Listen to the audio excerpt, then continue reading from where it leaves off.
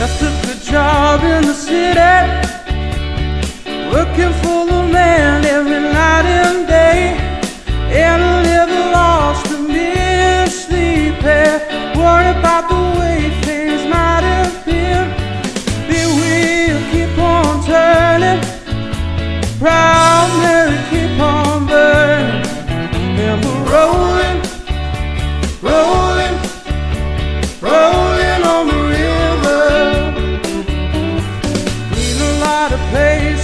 Answers.